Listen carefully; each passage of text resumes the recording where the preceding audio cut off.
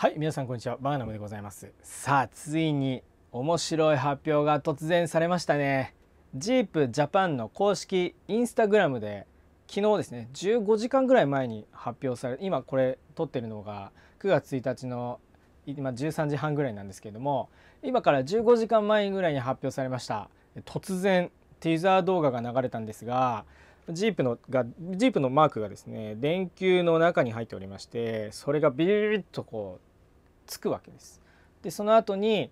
「 An electrifying new adventure begins 8月9日2022年」というメッセージが掲げられますね。そしてまたジープのロゴがビビビッと電気的にこうエフェクトかかりまして「 Freedom is electric」って書いてる後にジープのロゴがくるんとひっくり返って 4xE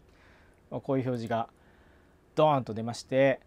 えー、インスタグラムジープジャパンのインスタグラムではジープは電動化の新時代幕開けを迎える9月8日訪れる変革の時をお見逃しなくって書いてあるんですよ。もうそもそも電球の中にジープのねあの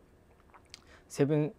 セブンスロットルあののマークが書いてあるこれラングラーの絵なんですね。ラングラーの絵からの 4xE そして訪れる変革の時をお見逃しなくというティザー動画が出てますのでもうこれは期待せざるを得ないですよね。でちょっと調べてみました。調べてみたらですねこれイベントらしいですジープが将来の電動化計画を示す 4xE Day というものを2022年の9月8日に開催するという記事が出ておりましたちょうど、えー、31日の発表ですので、えー、今次の日になっておりますえー、でこれどういうイベントかというとゼロエミッションフリーダムを推進するジープブランドの将来を示すプレゼンテーションアップルの発表会みたいなもんだと思います。もうすでにアメリカではジープは電気化がどんどん進んでおりまして日本ではレネゲードっていう車しか発表されあ発売されてないんですけれどもその他にもコンパスグランドチェロキーそしてラングラーもプラグインハイブリッドと言われるタイプの自動車がすでに発売されています。で 4xDay では将来の電動化計画についてプレゼンテーションを行うと書いてあるんですけれども当日の様子は日本時間では9月8日の午後9時9月8日の夜9時よりジープの公式 YouTube チャンネルにて公開予定となっております。なので皆さん9月8日の夜9時はぜひパソコンとかスマホとかがっつり見ながらですね日本のラングラー 4xE の発表あるかないかっていうのをドキドキしながら見ていきたいなと思います。ぜひ一緒に見ていきましょう。ちなみにですね、あるイベントで、えここのジープの社長のポンちゃん話す機会がありました。その時に日本にはジープラングラーの電気自動車はいつ発売されるのかなって聞いたんですよ。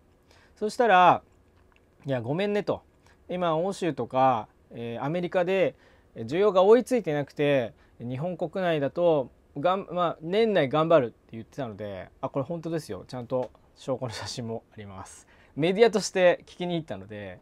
あのちゃんと公開もしていいことになっているんですけれどもなんとか年内頑張るって言った時に横にいた秘書の方が「あみたいな顔されたんで本当に喋っていいかは分かりません。でこれ、まあ、詳細は書いてないんですけれどもどうやら世界的にあの電動化ジープやっていくよみたいな発表だと思いますのであってほしいですね発表が。ただ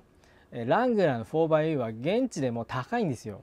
なので日本国内ですとまあ今あの現行のラングラーは700800万とかなんですけれども900万もしくは1000万突破してしまうかもしれません。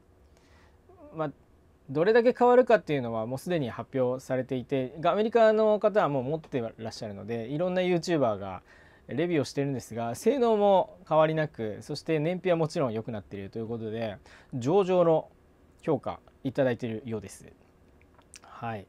ということでさらっと速報をやってみたんですけれどもいろんな今ね、えー、ニュースサイトでどんどんどんどんこの 4xE Day の記事が出ております。ちゃんとね Jeep4xE Day というロゴもかっこよくできていて、まあ、今後の電動化計画に関して新たな発表を行う予定としているという記事が出ているので今まだ出ていない情報とかも新たな発表を行うって書いてあるので出てる出てくるのかなと思います。非常に楽しみですね。あと1週間です。木曜日の夜9時ちょっとライブ配信はできないんですけれども9時の発表会が終わった後えそれの